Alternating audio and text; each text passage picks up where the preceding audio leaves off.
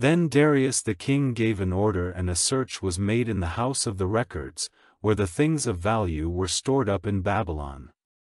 And at Achmetha, in the great house of the king in the land of Media, they came across a roll, in which this statement was put on record, in the first year of Cyrus the king, Cyrus the king made an order, in connection with the house of God at Jerusalem, let the house be put up, the place where they make offerings, and let the earth for the bases be put in place, let it be sixty cubits high and sixty cubits wide with three lines of great stones and one line of new wood supports, and let the necessary money be given out of the king's storehouse, and let the gold and silver vessels from the house of God, which Nebuchadnezzar took from the temple at Jerusalem to Babylon, be given back and taken again to the temple at Jerusalem, every one in its place, and put them in the house of God.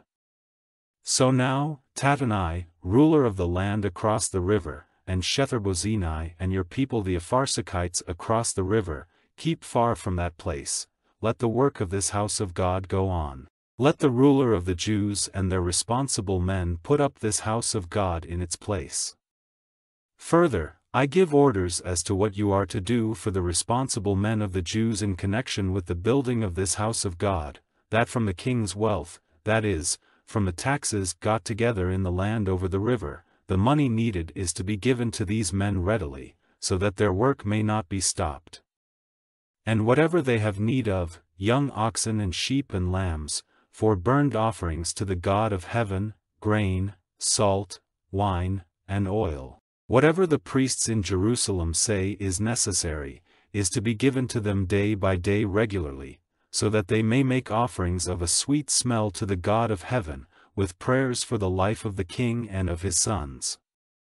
And I have given orders that if anyone makes any change in this word, one of the supports is to be pulled out of his house, and he is to be lifted up and fixed to it, and his house is to be made waste for this. And may the God who has made it a resting place for his name send destruction on all kings and peoples whose hands are outstretched to make any change in this or to do damage to this house of God at Jerusalem. I, Darius, have given this order, let it be done with all care.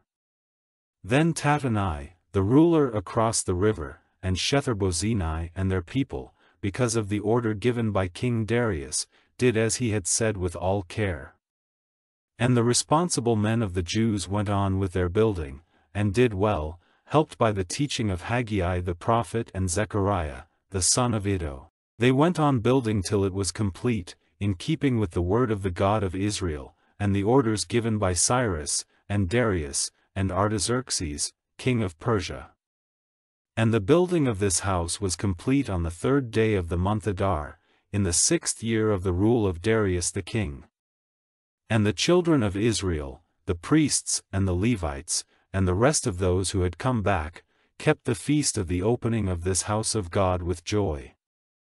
And they gave as offerings at the opening of this house of God a hundred oxen, two hundred sheep, four hundred lambs, and for a sin offering for all Israel, twelve he-goats, being the number of the tribes of Israel. And they put the priests in their divisions and the Levites in their order, for the worship of God at Jerusalem, as it is recorded in the book of Moses. And the children of Israel who had come back kept the Passover on the fourteenth day of the first month.